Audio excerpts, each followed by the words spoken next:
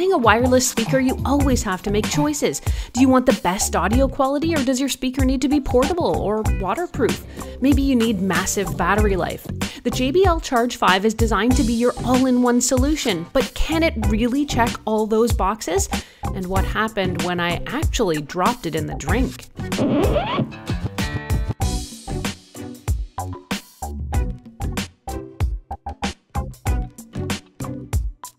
I'm Erin from Tech Gadgets Canada and Tech Gadgets International, and I recently got the JBL Charge 5 here to test and review. I'm going to show you each of the features of this speaker that make it stand out. We'll listen to the sound quality, and I'll tell you if I can recommend it for you. An early heads up if you end up liking this video and finding it helpful to please mash that like button and hit me with a sub since both those things help me keep making more videos that I hope everyone out there can watch, enjoy, and learn from. Let's take a peek under the hood here. Aside from the JBL Charge 5 unit itself, unboxing the package will score you a basic USB-A to USB-C cable, just in case you don't have enough of those already, and a simple quick start guide to get you going. If you used a JBL speaker in the past, you'll notice all the familiar design elements that make the Charge series so iconic, but the only real design change here is the larger JBL logo planted on the front with rubberized grills on the bottom to add stability. JBL didn't mess around around with the top of the speaker where you can find all the controls, including play, pause, volume, and more. To get it set up, just power on the device and long mm. press the Bluetooth button if it doesn't already come on the first time you pair it, and finish off the pairing process on your mobile device to get connected. I was connected and ready to rock in seconds. The JBL Charge 5 also has another button with an infinity symbol, and this one is used for the Party Boost feature. Party Boost mode allows up to 100 other JBL speakers with the Party Boost feature to share the same audio source, setting up what I guess would be the world's biggest multi-room speaker arrangement that doesn't require a Wi-Fi router. If anyone out there has actually linked up 100 of these speakers and tried it, send me the video because I can't see that many practical applications for this. Since, of course, I did only have this one JBL speaker here, I obviously did not try out this feature. You probably won't, you think you're cooler than me. You I have reviewed more than a few JBL speakers and I've always been impressed with the sound quality. Depending on the size and model you choose, some will have more bass or volume or not. With the Charge 5, the sound quality is strong and it gets good and loud. The overall soundscape is pretty well balanced with a small lean towards the high end, but overall it is a good sounding speaker that's going to satisfy most listeners' ears.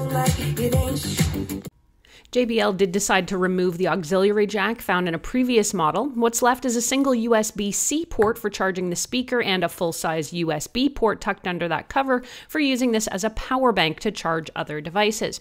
If there's any consolation prize here, it would be the slightly improved housing over the previous model, which is enough to net the JBL Charge 5 a waterproof, dustproof IP67 rating. To test the speaker out, I dropped it in the pool while on vacation.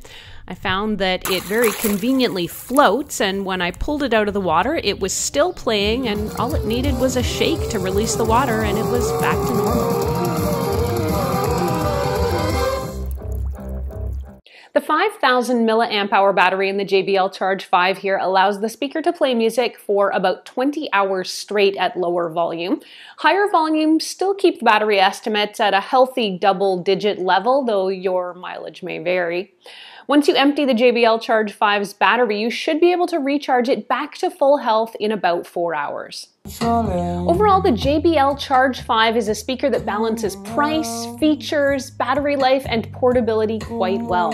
It sounds good, it's rugged, it's waterproof, and it checks all the boxes for a portable party or outdoor speaker.